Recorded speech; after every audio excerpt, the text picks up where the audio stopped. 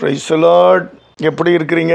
சுகமாக இருக்கிறீங்களா? நான் இன்னைக்கும் தானியல் புஸ்தத்திலேயே தான் இருக்கிறேன். தானியல் ரெண்டாம் அதிகாரத்தில் பர்லோகத்தின் தேவன் எங்கள் பிதாக்களின் தேவன் பர்லோகத்தின் தேவன் ராஜாதி ராஜா அப்படியே இந்த வார்த்தைகளை திரும்ப திரும்ப படிச்சுக்கிட்டு இருக்கிறேன். தேவன் உம்முடைய நாமத்துக்கு என்றென்றைக்கும் உள்ள சதா காலங்களிலும் சோத்திரம் உண்டாவதாக. சோத்திரம் உண்டாவதாக. ஞானமும் உமக்கே உரியது. வல்லமையும் உமக்கே உரியது. காலங்களையும் சமயங்களையும் மாற்றுகிறவர் நீரே. ராஜாக்களை தள்ளி ராஜாக்களை ஏற்படுத்துகிறவர் நீரே. ஞானிகளுக்கு ஞானத்தையும் அறிவாளிகளுக்கு அறிவையும் கொடுக்கிறவர் நீரே. நீரே நீரே நீரே. நீரே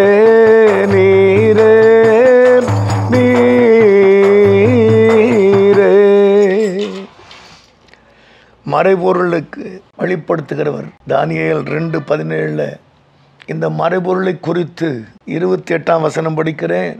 மறைபொருள்களை வெளிப்படுத்துகிற பர்லோகத்திருக்கிற தேவன்.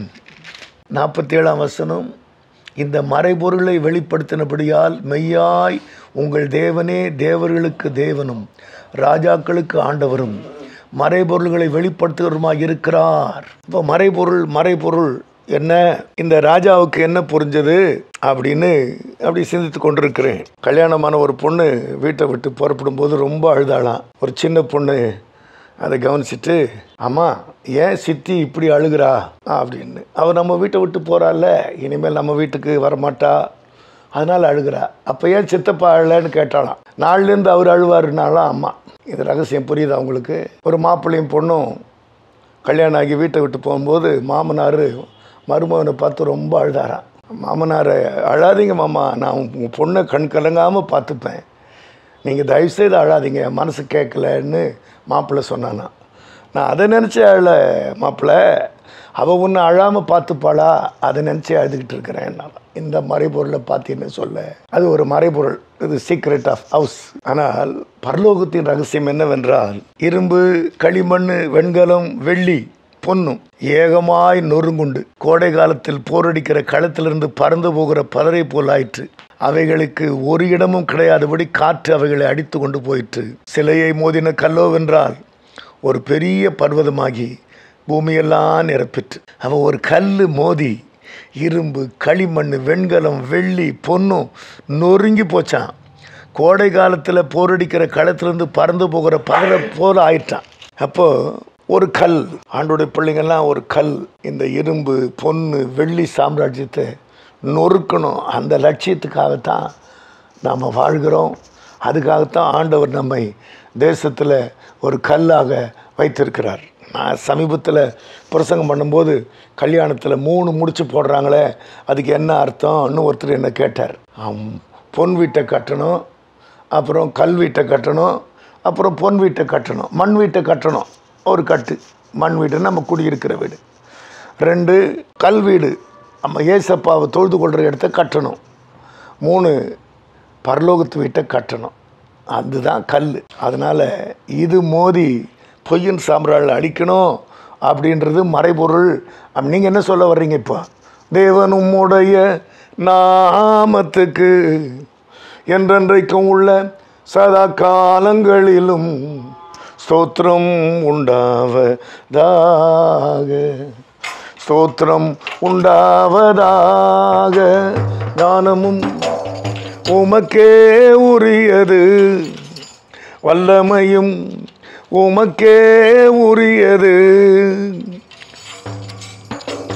ஞானமும் உமக்கே உரியது. வல்லமையும் உமக்கே உரியது. நிற்காலங்களையும் சமயங்களையும் மாற்றுகிறவர் நீரே.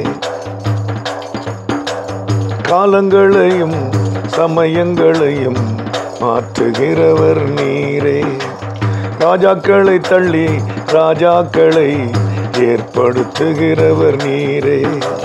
ஞானிகளுக்கு ஞானத்தையும் அறிவாளிகளுக்கு அறிவையும் கொடுக்கிறவர் நீரே நீரே நீரே நீரே நீரே நீரே.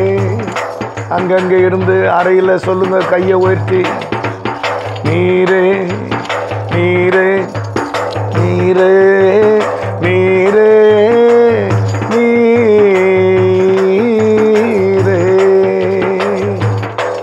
நான் கையை உயர்த்தி வானத்தை பார்த்து சொல்லுங்கன்னு என் அசிஸ்டண்ட்டு யா பேசு. முதல்ல இந்த சளி தீர்றதுக்கு ஒரு வழியை சொல்லுங்க அப்படின்னு கையை விரிக்கிறார். நான் என்ன சொல்ல? சளிக்கு மருந்து கொடுக்க வைத்தியர் இருக்கும்போது இந்த மறைபொருளை வெளிப்படுத்துகிற ஆண்டவரை எப்படியாகிலும் எப்படியாகிலும் உயர்த்தி என் காலத்தை அவர் கையில் ஒப்படைக்கணும்னு இருந்தா நான் என்ன சொல்கிறது தீர்மானத்துக்கு வந்துடுவோமா கைகளை உயர்த்தி சொல்லுவோம். நீரே நீரே தேவனும் உடைய நாமத்துக்கு என்றென்றைக்கும் உள்ள சதா காலங்களிலும் உண்டாவதாக. ஸ்தோத்திரம் உண்டாவதாக. நல்ல தகுப்பனே மறைபொருளை வெளிப்படுத்துகிறவரே பர்லோகத்தின் தேவனே எங்கள் பிதாவே நன்றி ஆண்டவரே பொய்யின் சாம்ராஜ்யங்கள் உறுதியானதான் ஆனால் கல் மோதி அதை நொறுக்கி பதராக்கி தூற்றி போடுற வேலையை ஆண்டவரே ஒவ்வொருவரும் நாங்கள் செய்ய உதவி செய்யும். எங்களை ஏற்றுக்கொள்ளும் இயேசுவின் நாமத்தில் நல்ல பிதாவே ஆமேன் ஆமேன்.